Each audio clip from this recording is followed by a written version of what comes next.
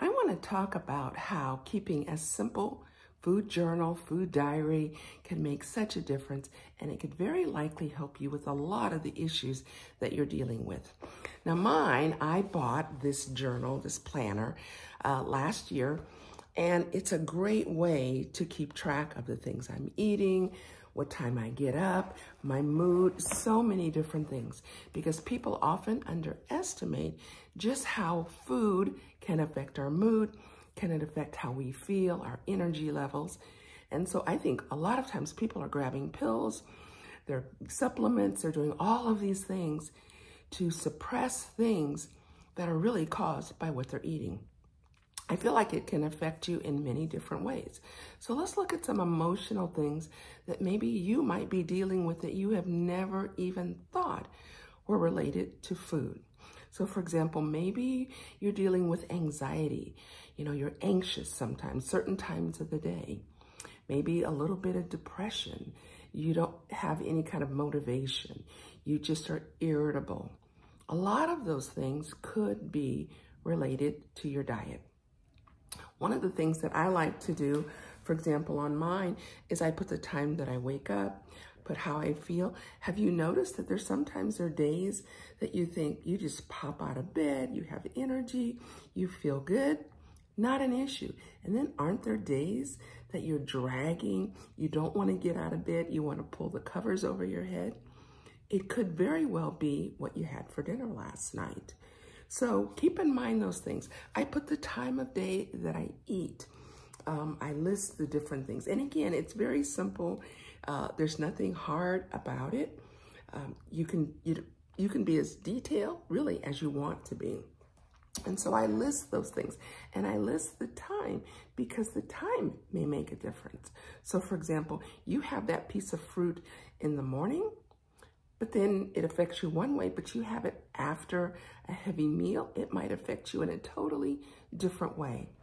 Other things that can it can affect you are physical. So for example, a lot of times people have gut issues, constipation, diarrhea, bloating, a lot of gas.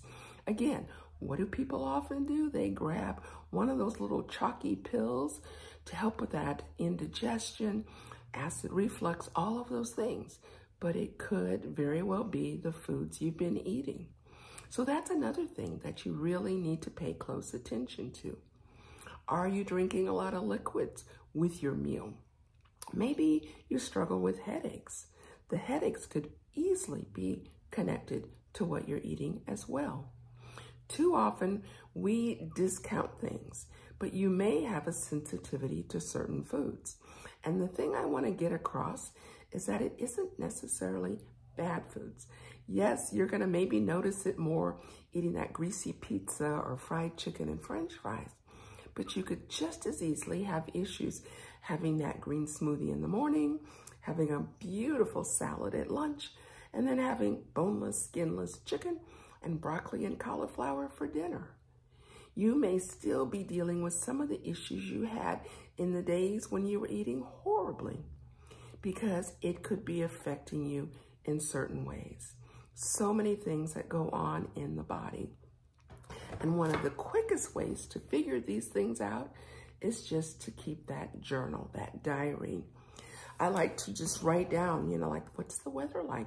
Because weather even affects things like that. I was on a call with a, a doctor in a Zoom call. There was a group of us and the doctor was calling, talking about how weather can play a huge difference. When there's different types of things going on in the atmosphere, that can affect how we sleep. And if we're not sleeping well, it's gonna affect everything else. So let's pay attention. What about the moon? Is it a full moon? I used to think that was a little creepy, but think about it. People plant by the moon. There's so many different things. So let's pay attention to these things and keep them in mind. So again, it doesn't have to be anything fancy. You can get a simple little tablet, but start jotting down and writing down those things. You will be amazed at what a difference it can make. You'll discover things about yourself you didn't even know. For more healthy tips, stay with me. This is Coach Maggie for Health. God bless.